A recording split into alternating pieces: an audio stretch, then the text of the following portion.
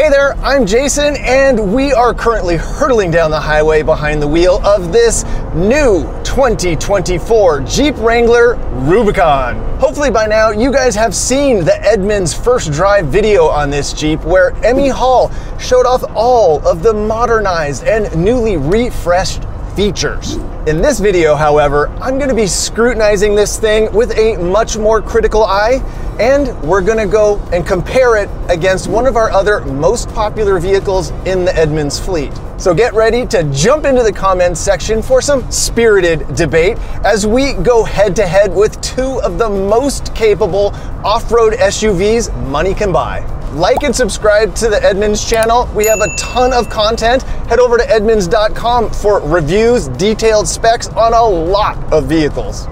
While we're on the road, let's talk about how this thing is on the highway and in real life. It's the best Jeep ever, and that was the goal with the new Wrangler. Tons of refinements. The driver interface is really, really nice. This thing kind of evokes the old heritage of Jeep, yet it's backfilled with tons of just convenience, technology, and luxury features. You still have your seat heaters, steering wheel heater, all of those things. You actually have side curtain airbags. That's new for Jeep Wrangler. And an optional power seat. The wind and road noise in this thing, we've tested the 23 the year before this and this one, and we couldn't find a difference, even though one of the things they say is better, more sound dampening in this. We couldn't we couldn't hear a difference. Given hardtop to hardtop, they are exactly the same in here over the road. And this would be the part of the video where your automotive host type person would spend the next five minutes bagging on the Jeep steering. Well, that's not gonna happen in this video because I wholeheartedly disagree with that play when it comes to this platform. Now, it hasn't classically always been great, but this is the best it's ever been, and I'm honestly saying it's pretty good. The on-center feel is one of the main complaints that people will throw at it, and it's better. It's pretty heavy right in the center here, so they've done a ton of refinement to this thing. Now remember, this is designed to be a robust off-road vehicle, so it's unfair to just throw that it's awful on the road. Now, compared to a vehicle with, say, independent front suspension, wink wink, that may be our competitor today, it's definitely not as good and would not win in that comparison head to head. But it is actually really decent to drive this thing. So the big standout difference really in the 2024 Wrangler refresh is this 12 inch wide screen at the top of the center stack here. Well, I don't want to undercut this. Jeep stuck the landing with this thing. It fits nicely into the dash. It actually is very responsive. It's, it's a really nicely done and well executed bit of upgrade here. But where the pavement ends is where the promise of adventure really begins for this type of vehicle and our special guest competitor. So let's get there. By the numbers, the new Wrangler and Bronco are nearly identical twins. The body height and length are within an inch of each other. The Jeep's wheelbase, four-door to four-door, is two inches longer at 118 compared to the Bronco's 116 inches. And accordingly, the approach and departure angles will favor the Wrangler a little bit. The body of the Bronco is a couple inches wider than the Jeep due to the legacy of this exaggerated fender on the Wrangler. And Ford makes excellent use of that space, offering a noticeably larger cabin and much more comfortable seating area. The look and feel of these Wrangler doors hasn't changed much in decades, so Ford came out and decided to dunk on the Jeep by creating these frameless window openings on their doors. It's kind of like a half door from the factory. It's really cool. Plus, they mounted the side mirrors up here on the cowl, so if you wanted to pop these doors off, you don't have to add a mirror on afterwards to stay street legal. It's really cool. I like this. But when it comes to more technical and off-road minded upgrades, well, Jeep flexed right back on the Bronco by offering up things like this Warn winch as a factory option. Plus, you can get a full float rear axle on some Rubicon models, and that is a massive upgrade to the drivetrain. Offers tremendous strength, even bumps the towing capacity to 5,000 pounds, which is the highest in class by far. All right, now it's time for the fun stuff driving in the dirt. This Bronco has independent front suspension. We also call it IFS. So the big controversy when the Bronco reappeared on the scene was the fact that Ford went with the IFS. And yeah, it drives down the road great over the highway, around town. It does beat the Wrangler for sure. But there are a few drawbacks to the IFS when it comes to off-road. You tend to get less wheel articulation, so if you're gonna be doing a lot of bouldering and uh, rock crawling, you might wanna reconsider that. Plus, there are a couple of weak spots inherent to the IFS. So the two things that I'm most concerned about when I'm wheeling a vehicle like this with IFS, the tie rod. Now that's the thing that connects the wheel to the rack and pinion unit at the middle of the vehicle. Now, when you hit a rock with your big old 35 inch tire, that thing can bend. Now, the other thing is the CV or constant velocity axle shafts. There's two of them on the front of this thing.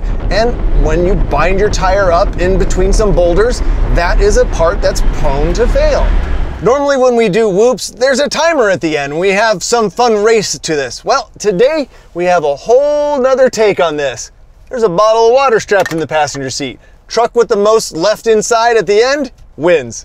Baja mode, best suspension, in drive, carry a steady speed through here. Let's go. okay, here we go. All right, first buck is okay. Doing pretty good so far. We were just bragging about I have independent front suspension. Ooh, it's doing its job. Huh? It's pretty smooth. Gotta make sure they keep a steady speed. Oh man. Yeah, buddy. That did amazingly well. Oh, there's two more at the end. Uh, they're big ones. Oh, goodness gracious. Wow. Well, there you go that was kind of cool. I'd like to compare. I can't wait to actually compare against the Jeep. All right, time to hurl through the whoops with the Jeep. Lid is off. We're in drive. No other settings, four high, let's go. Let's see. Try to keep the same speed. Oh boy, bit of a bucking Bronco already. Oh gosh, it's so good again. So weird. But here is where the IFS should shine. Oh, goodness gracious. All right, finding the bump stops. I was going a little fast there, but it's still good. Same speed. Oh, pretty good spill. Oh, I was watching the road. Okay, I'm trying to maintain the speed. Jeep is still doing pretty good. Even though I'm hitting the bump stops, it still feels really quite composed. Whew. All right, let's assess. We have a clear winner here, and that's the Bronco. No surprise. We expected the IFS on this thing to soak up the bumps on that, and it did. Now the Jeep did better than I expected, certainly surprised me, but it just couldn't hang with the isolation of the front end. Now to be honest with you, I actually thought there was gonna be quite a bit of splashing out of this thing, but the design of these bottles is freakishly good. Anyway, let's get on to the next challenge. On our way to the challenge here, let's talk about that steering again on the Jeep. Remember at the top of the video when I was saying the Bronco just goes over the road better than the Jeep? Well, that's because the Jeep has, you guessed it, a solid front axle under there with a drag link style steering. Now, okay, it suffers a little bit on the highway, but here in the dirt is where this excels. What you get, a ton of articulation and a ton of strength. And that's exactly what you want out here. Even the tie rod on this Jeep is noticeably beefier than the toothpicks on that Bronco. And those elements add up to a much better equipped off-road vehicle. Before we go any further, let's do a quick interior dive on these two. Now, a couple of highlights here inside the Bronco. Well, first up, the thing you see the most, the dash. What a great layout. This is a home run in my eyes. Uh, it's just great. The screen, love it. The aux switches here, this is the perfect location and the execution here, ah, perfect, chef's kiss. Uh, the interior, let's just talk. Seats that are real seats. A center console that's more than just an armrest in like an airliner. Um, the seats are noticeably more comfortable. So those are the things that I think just really take this thing up several notches. Now let's take it back down a few notches, the things that I don't like as much. The digital instrument panel here, it's okay. Do I hate it? No, but do I like it? No. so that's kind of my thing with that. Um, the transfer case shifter is buttons here in the center console. I am absolutely not a fan of that. And you guys, I've complained about goat mode a couple times here. And these handles, the grab handles down low, I'm not necessarily a fan of that. I like them up here where they seem to be a little more practical, help me get in and out of the vehicle and stabilize you know, my body when I'm on an obstacle. And it's missing the grab handle here for the passenger. I think that the passenger might appreciate that. And if you're looking at this grab handle, just like mine over here, it's still too low and in a spot where I don't feel gives you the security or the stability that you'd be looking for if you're getting rocked around on the trail. Overall, between the two, I still think the Bronco has a superior interior. I just like being here more. But let's go check out the new Wrangler. So jumping into the Jeep here, the first thing you notice is that everything is closer to you. It's smaller in here. I can actually touch the windshield in this thing from the driver's seat, where in the Bronco, you'd have to literally come out of your seat to get there. So everything's kind of closed in on you. But some of the things I love I love the mixture of analog and digital gauges here. It's just that perfect throwback to the genealogy of the original Jeep. And I love the fact that the grab handles in this thing are all in these the perfect spot. And you have an oh shoot handle for your passenger. Uh, this right here is the highlight, the four high, four low. Your transfer case is a gear lever right there. Two wheel drive, four wheel drive positive reinforcement, you know you're there. No push buttons for me. Some of the things that aren't as great in here, well, the auxiliary switches are down here, hidden behind the gear shift. So you kind of have to like dodge around and reach around that. Not ideal, really. The seats, narrow and firm. So it's just noticeably less comfortable and less room for more um, bigger sized people in here. And the center console actually on the newer Jeep is a little bit wider, but still you're closer to the people you're around in here.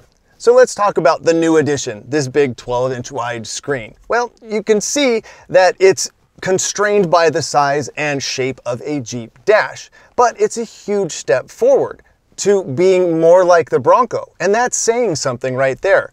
Is it good? Yeah, I actually really like the thing. It's responsive, it's fast, has a lot of great details into it, and you know, it makes it a nicer place, but I still don't think it's as much interior as you get over there in the Bronco. If you want to see a deeper dive into this screen, go check out that first drive video with Emme. There's tons of coverage in there. A moment ago, you heard me talking about articulation and bragging about how good this Jeep should do at it. Well, here we are in the dirt. I have the sway bars disconnected, four low, suspension all ready to go. Let's see how it does. Feels pretty good, actually. Oh, we got a little tip. So we're going a little bit past the bump stops on this one because the Jeep is tipping a little bit. It's not just creeping through, but it feels good. It's doing a good job through here. Let's run the Bronco through, see how it does. All right, time to run the Bronco through here. Let's see how it does. Sway bars disconnected, lockers on. Let's see how we do.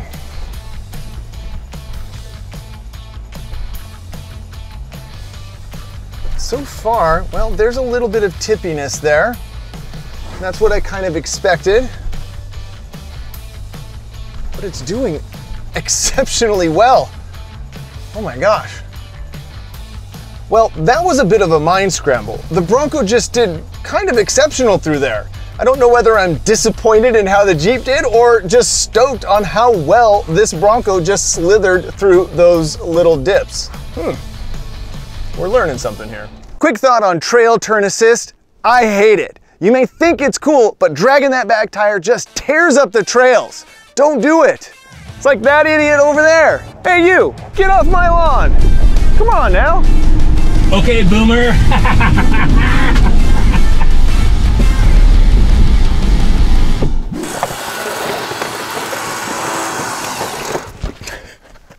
so what did we learn today? Not a whole lot, but we had some fun. This is just a mid-cycle refresh. It's not a brand new Wrangler. The screen inside there, does modernize it quite a bit. This thing goes down the highway a whole lot better.